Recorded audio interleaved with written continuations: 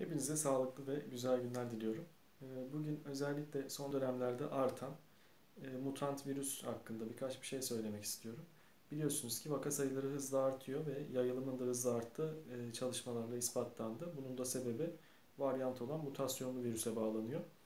Ee, Bu dönemde dikkat etmemiz gereken çok önemli bir şey var. Özellikle gribal enfeksiyon semptomları gösteren hastaların e, test yapmaktan kaçındığını görüyoruz. E, Bu konuda özellikle şu dönem için e, neredeyse gribal enfeksiyon semptomu demek, e, COVID demek. E, o yüzden mutlaka testimizi yaptıralım. Ona göre testimizin sonucu pozitif çıksın veya negatif çıksın fark etmeksizin e, kendimizi çevremizden, sevdiklerimizden izole edelim.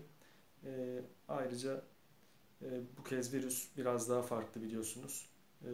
Hızlı bulaşıyor, gençleri ve çocukları da tutuyor. E, izolasyona da dikkat edelim. E, grip diye ihmal edilince sonrasında daha ağır semptomlarla karşımıza çıkacağı için test yapmaktan kaçınmayalım.